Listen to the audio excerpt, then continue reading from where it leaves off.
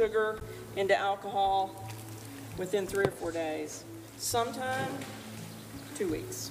It's all of this work that keeps the wine industry growing, bringing in millions of tourists to experience the fruits of this labor, all stemming from love. It's beautiful to see those, those dreams and that hard work come to fruition. Well, the Texas Heritage Vineyard will harvest Tempranillo and Alicante Bouschet from the estate vineyard over the next couple of weeks. You sound so, So fancy. classy. Oh, Yeah. Just with a glass of wine in Yeah. hand. And they, I thought it this was coffee. I'm just kidding. I'm just kidding. This is water. You're like, yes, it's coffee. Oh, it's not even coffee. It's water. Yes. He's I like, "I'm thirsty." I mean, 10 out of 10 with those pronunciations. Yeah, of those words, yeah, I have to yeah.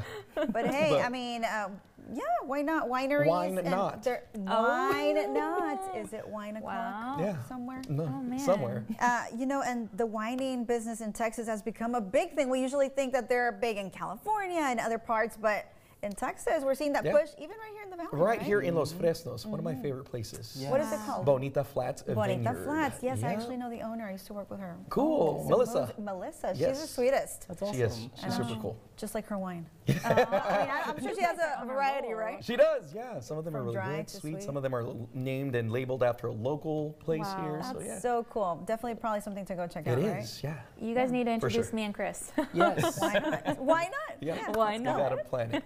Well, you know, the heat makes you will make you want to whine a little. Oh. I have say. Wind down. Why Yes. Yeah. Adam, you've been talking about that guys place for quite. I'm gonna have to check that place out for sure. I'm gonna take you all. We're going. Definitely, we're going. All right. Road trip. Sounds like it. worthwhile. True. But you know, it's interesting that they were having to hurry up because of the heat, you know, like Right. having to not lose that harvest because, you know, though I guess the wine has certain conditions too. Yeah. Yeah. Yeah, for sure. And it's also going to be fairly hot across the area. So definitely uh, seeing those conditions, mostly muggy across the valley. DHR held